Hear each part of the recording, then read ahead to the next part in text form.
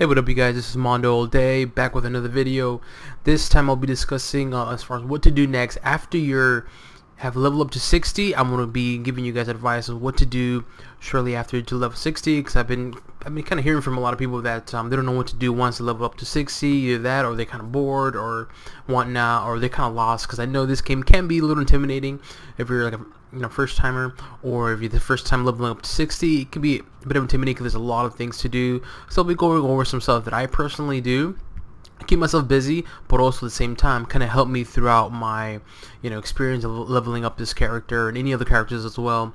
So in previous videos I've been showing you how to level up to 60 now that we are here now level 60 what is it to do? So just to kind of overview a little bit of the build right now um, I started off with a brand new legendary with Magik. And I did completed story mode to level 60 and then I am at rank 3 as far as a brand new team up and then as you can see team up kind of build up pretty good. I did donate some um, uniques that I just picked up so that's why you see a lot of the uniques there. But um, I built up a little bit of the pet. And then team up I started fresh. A little brand new team up. I started with you know Firestar when I first started playing with Magik, doing story mode, and now we're at level 45. So again, the purpose of this series is just to show you that how effective the story mode is, and then if you watch my gameplay, you, you know you have a high probability of leveling up to 60. Now again, I did not do every objective in every chapter. I just did just some to where I was able to level up and proceed with the next chapter. So now, what to do next? So once you're here now, level 60, what do you do? There's a couple of things you got to do, but first off though, what you want to do is start building your character, putting in the right artifacts. So you want to start, you know, putting in artifacts that are going to be benefit you as for in terms of your gameplay style, meaning uh, the artifacts are going to help you throughout the way you play and the way you build your character. For instance, Magik here it does melee and mental, but she also does summon and mental so in this case, I'm going to use melee. So a lot of my artifacts either going to be melee related, a little bit of range, maybe one or two, but mo mostly it's going to be melee and mental. Hence why I pick these artifacts, specifically this one, the crossbones, because not only is a benefit, gives you damage to melee powers, but also a bit of rating for her signature and spirit fangs, but everything else is more for melee and mental damage. And same with um, the uniques too, and then obviously the legendary and her ring. Now, what do you do that? So let's just say you level to 60 and then you kind of build your your character, put some artifacts, medallion, um, you, you, know, build up a little bit. So what do you do? So the first thing you would do, would do is personally is go here. Let me put my team up away. Go to the crafter. Please, make sure your crafter is leveled up to 20. But what you want to do is you want to add affixes to the costume. How do you do that simple? So we're here, this is where you do all the custom fixes. You got the offensive and then defensive. Defense is more like health, deflect, defense range, uh, rating. Offense is more you know damage rating, critical damage, and speed and so forth. But what you want to do is add affixes first off for offensive. Now how do you do that simple? And I'll show you really quick. So um, we're here, this is one of our costumes. Okay, place it in here and then click craft. And then now this costume the one I'm looking at has 135 damage rating versus enemies targeting you. What you want to do is you want to have critical damage rating as you can see here. I already did this I already built this costume but this is what you want. Critical damage rating. Why? Because this will give you the most most damage. When you do damage to enemies this will give you the will benefit you the most because it'll do a lot more damage than just any other damage. So what you want to do again is you want to get affixes critical damage rating. That is your ultimate goal. Now let's just say you you did that but your critical damage rating is pretty low. Like this is not that good. If you hit alt it tells you what percentage and it's pretty low. It's not even that good. So how do you fix that? Simple.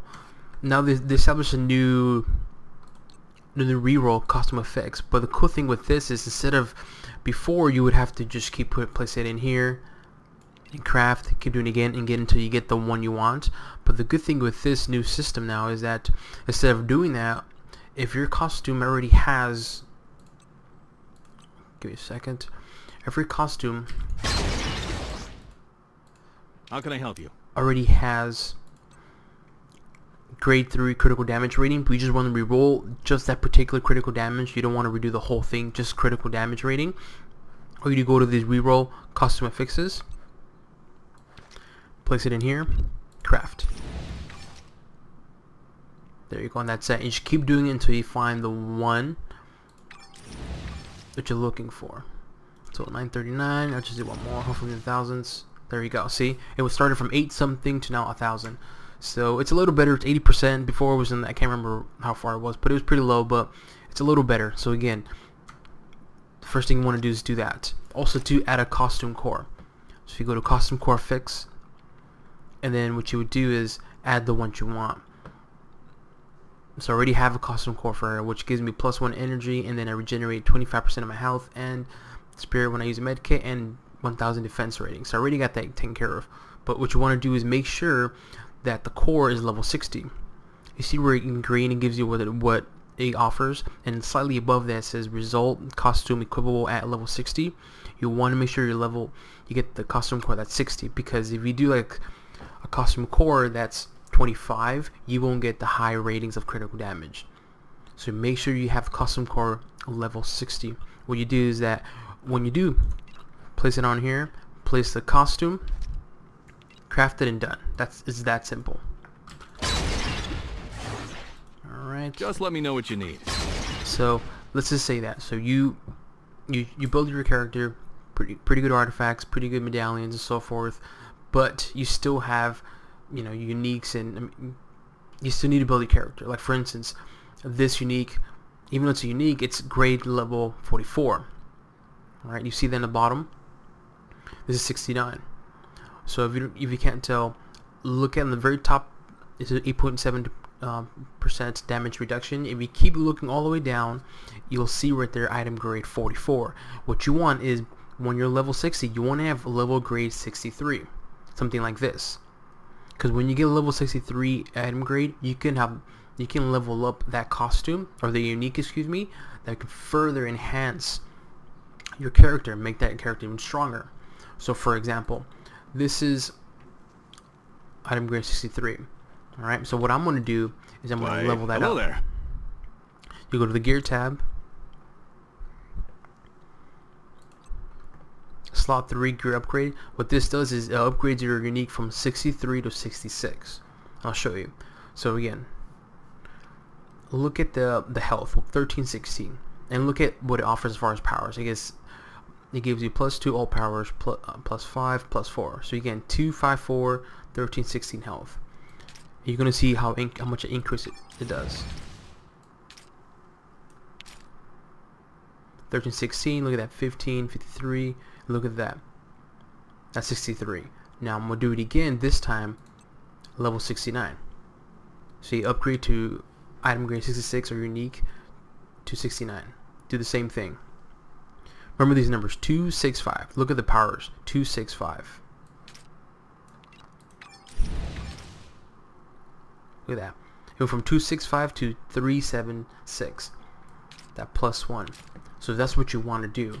Now, let's just say you donate well I'll proceed with where do you get all that stuff and how do you do that but that's what you want to do first once you level up to 60 make sure that you have the uniques that's appropriate to your character and you level them up. Make sure they're at least 63 like this one. We would need we would definitely need a new unique for this one make sure to be 63 but regardless so this one too 61 you have to have level 63 uniques. Item grade alright?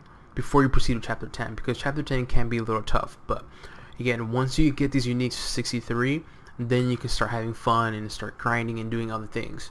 So the way the best way to do it to get these uniques is go to the waypoint and go to Hightown right here. Hightown gives you uniques for your character. They give you random uniques but usually they give you uniques for your character. And all you have to do is just grind. Go to Hightown and just start defeating as many bosses as you can and you'll eventually pick up all the uniques that you want. I mean, to give you an example, I was grinding for for Doom. Look at all the these are all his uniques. And did also did for Captain America too for a bit. And again, these are all uniques and I got all these from Hightown. So all you have to do is once you level up 60, if you already have the best artifacts that you can at the moment on here and the best uniques, the highest level, go to Hightown and just start playing. Just start grinding until you get the uniques, uniques that you want. Once you get the uniques that you want, then you can start doing other things too. For instance, you can start doing Ultron which is right here. It's a very good raid. It's a good way for you to kind of test out your build, see see how your gameplay is and how you build that character. And if you feel like that game style and gameplay and that build is meant for you, what I mean by that is sometimes I've, I've has happened happened to me before where I've built a certain way and I didn't like it. It was very very weak, and so I we changed it, but I kept all the artifacts, but we change the build, possibly change the different uniques because each character has little different ones. I mean, just show you. This is slot one. This is slot, slot one, unique for Captain America. So each unique gives you different. It's slightly different depending on the powers you use. It will determine which unique you wanna, you know, you wanna use. So again, um, just really my my suggestion is once you get the uniques you want for your character go to Ultron, test it out, see how, how it goes. If you can survive Ultron and do pretty good, then you know you you have a good solid foundation. But if you're getting demolished and you're not doing any damage at all, then something's wrong. Either one, your uniques are off, two, they're not high enough, or maybe the artifacts, or three, where you place the power points is not correctly. So again, Hightown, get those uniques. Once that is going, try Ultron. Okay, so let's just say you went to Hightown, got your uniques. Ultron, you did good, not the best, but you can hold your own. What do you do next? Well, there's several things to do. Um, obviously, you can do raids.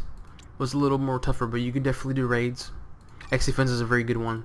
Solo Sims. The raids are very good. Just make sure you're pretty powerful. Um, also, my advice is do these rare challenges. The shared quests. All you do is hit L. Do these challenges. These will give you quite a few Odin marks. These are very good. And plus, when you do these, you can be in a party and it will help you. Because, for example, Hightown Patrol, you have to defeat 80 or 80, 800 scrolls. That's a lot. So if you you're in a party, I mean, this 800 will go by so fast. So that's one good way for you to start networking, talking to people, and kind of get into parties and get into more people here. So I would highly recommend doing that.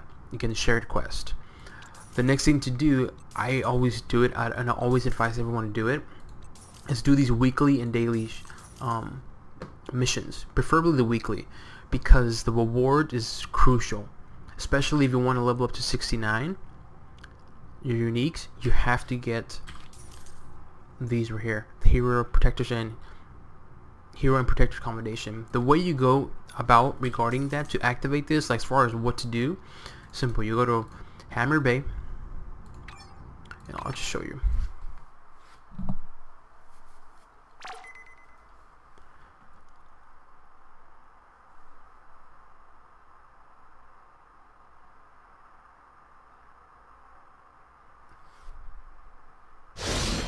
You go to Hammer Bay. Once that, you go over here. You talk to these two. These will give you the missions. And all you have to do is click L and go go where it tells you to do. So for instance, this one told me to go to Midtown. Once I went to Midtown, as you can see here. then it told me I have to destroy, you defeat my brother against me, Spider-Man. 300 An apology elites. may not cover it. And it gives you the hints as to what qualifies as a elite for X-Men.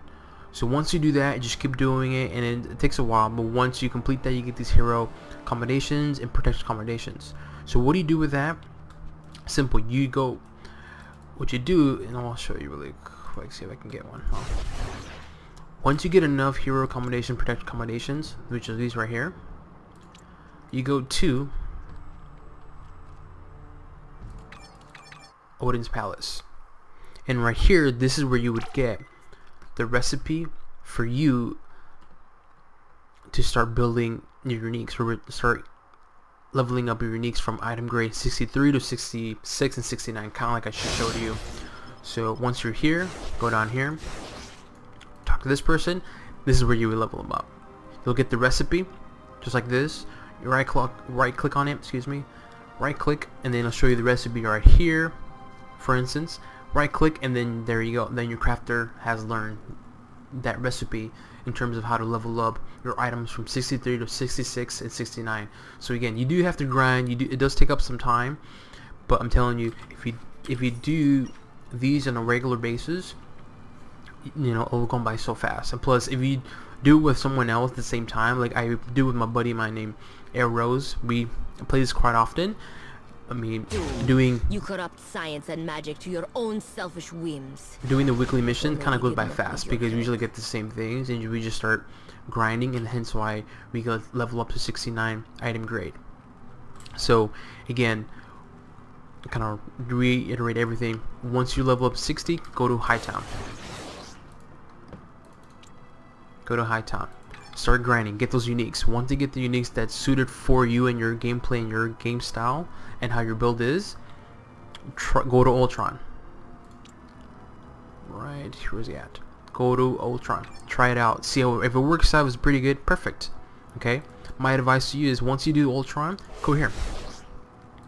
And see okay how much it costs how many heroes and protector points you have and just that way it gives you a good idea. So now you have that going for you the next thing I would do is also do is try Cosmic Trial. Now, Cosmic Trial is probably one of the most toughest, uh, I guess you would say tests or quizzes. I don't say quiz, but test because it tests out your character like down to the T. It tests out how efficient Emma, you and how sure know how to powerful and things. tests a lot of the DPS stands for damage per second and so it's a really good way to figure it out if your build is good enough or you're ready for the next for the cosmic runs. So and you that's what you want to do. You want to pass cosmic because once you do you unlock the cosmic portals which I'll show you really kind of how it looks.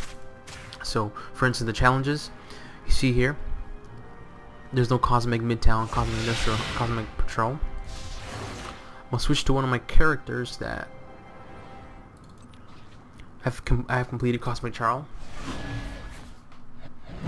I have my orders. See, now is the Midtown Patrol, Cosmic, Industrial, and so forth. What you want to do again is you want to pass Cosmic Trial. That's like the ultimate goal because once you unlock You're that, just a wa- then you can do the Time Cosmic Midtown. Cosmic Industrial City, fighting for longer than most can comprehend. and Cosmic um, Hightown. And I kid you not, that's where I got all my rare artifacts is through the Cosmic